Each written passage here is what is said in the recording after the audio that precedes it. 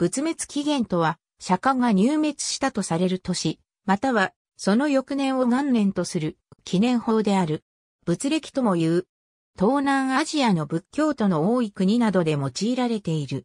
ミャンマーやスリランカでは、釈迦が入滅したその年の紀元前544年を仏滅紀元元年とする。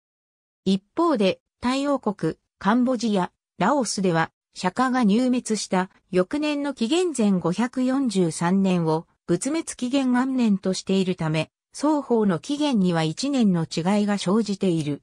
それぞれ、キリスト紀元に544、あるいは543を加えた値が仏滅紀元となる。英語では、ブッダエラ、ブッディストエラと言い、仏滅紀元2548年を英語で表記するときは BE2548 のように頭文字を用いて表記する。なお、釈迦の入滅の年は宗教的な伝来に基づくもので学術的に言われている年と食い違っている。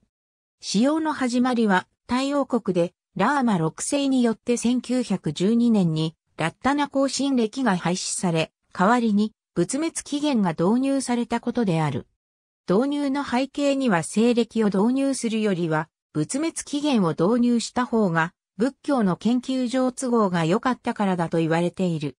タイに導入された当初は退院歴であったが、仏滅期限2483年にその年が9月で打ち切られ、グレゴリオ歴との誤差が修正されたため、現在は西暦との間で日にちのズレがない。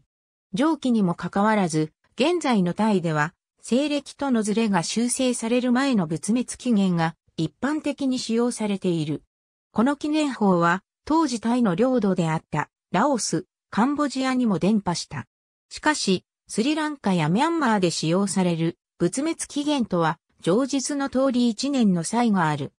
仏滅期限はタイ語では、プッタサッカラートと言い、年代を表記するときは、頭文字を取って、ポウソーと書き、2020年の場合は、